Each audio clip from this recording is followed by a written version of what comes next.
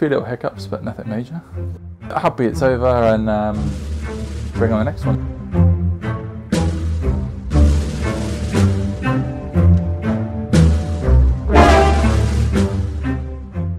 I think the main worry before any open day is sort of what might happen, the unknown really, having to sort of problem solve if an issue arises. So comparing this open day prep to previous ones, we've never had sewage leaking or fans breaking down or um, potholes being filled in, that kind of stuff.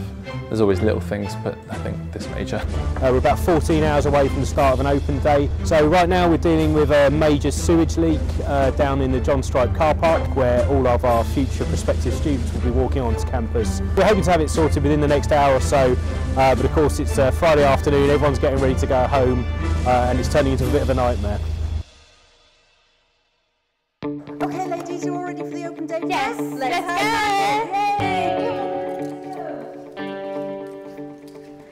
go. So my role at an Open A really involves academic liaison with academics throughout the university, um, sorting out event staff rota, casual staff rotas and stuff, um, right the way through to organising coaches, companies, uh, magicians, uh, food and different things like signage and course flyers and communications, that kind of thing. Definitely easiest part on actual Open A is working with a team that already know what they're doing um, and everyone's, because everyone's done it those times before. Right now I'm just really sticking Blu Tack on the signs. So for open day prep we put all of the signs up around campus to help people find their way around tomorrow um, and at open days. And we also count out and set up all of the course leaflets for each of the course talks going on in all of the rooms around campus. So this is a little system we've got going now where we have all the leaflets for the course fair in department order. And then over there we've got all the course leaflets that go into all the individual classrooms for the course talks. So after this we go and put all of these in the rooms across campus. And then we'll go and sort out the marquee for the course fair We put all the tables out, um, all the tablecloths on, and then we will also put the banners up. So each department has their own um, pop-up banner, and that goes behind each table. So again, there's about 30 or so banners that we need to put up. Um, and we usually do that in the morning because just in case it is cold or wet overnight and they'll get blown over and damaged, we do that in the morning. And I look after uh, the marquee uh, during the mornings, so I look after um, our course champions who are in the advice fair for the rest of the day in between um, course talks.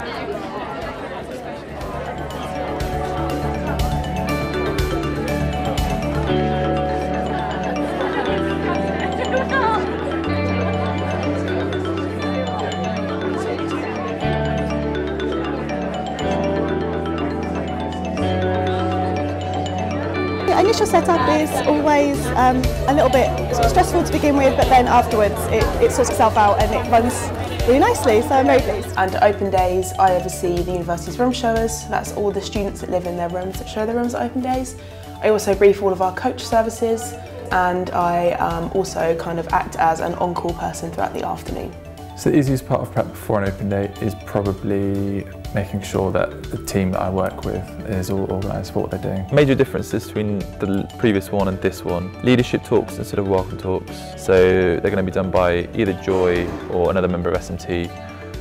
10 o'clock, 12.30 and 3 o'clock in the Stripe Auditorium. Yeah, briefings out the way, so it's just, uh, just about to do the parking emails to all the guests booked on who's got parking, um, where to go, that kind of thing. So we want to um, give ourselves a competitive edge over other universities by offering things that they don't offer. For example, the magician that we um, come onto campus and we have roasted chestnuts at this time of year and we have sweets and donuts other times of year, perhaps a barbecue in the summer. It's to try and create a vibe on campus and something that other universities don't do. It's sort of putting entertainment onto the campus to try and make it more of a day out for our visitors. Prospective students should come to an open day because there's so much more on offer at an open day. We have everything open for them and they can really get a feel for the vibe of the campus, which is really nice. And that's a really key thing is when you arrive on campus that you get a different vibe um, and that you really feel like you're at home here. And I think that's particularly true at Winchester. And you can also um, ask so many more questions than you would be able to ask online and you can speak to someone face to face which makes it a lot easier as well. So the reason why we put so much effort into open days and why they're different from visiting the campus, say for a campus tour um, or an independent tour or something like that, is that you're able to meet with academics. So you can speak to them, ask them about the course, ask them any questions you want to know, find out what those academics are like and whether you're going to want to study with them. Also, you're able to go on accommodation tours, campus tours, and the campus has a real buzz. It's really busy, there's lots of visitors, lots of people working, and a real variety of students that you can speak to to ask their opinions of the university and the course as well. It's been really good, everyone's really friendly, and I love the campus and the facilities. It's just a really nice university altogether.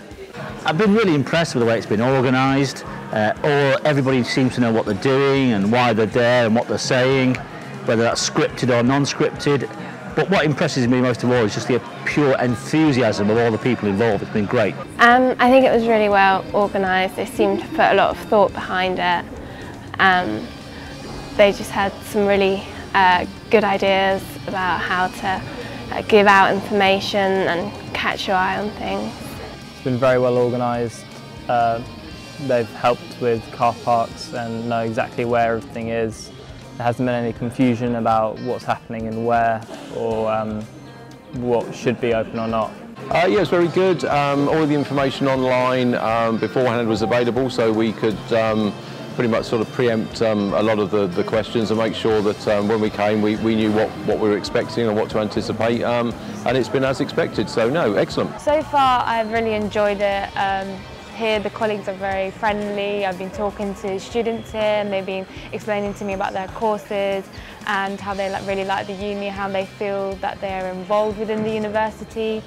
Um, and yeah, so far I really enjoy it and I'm hopefully looking forward to come here in the future.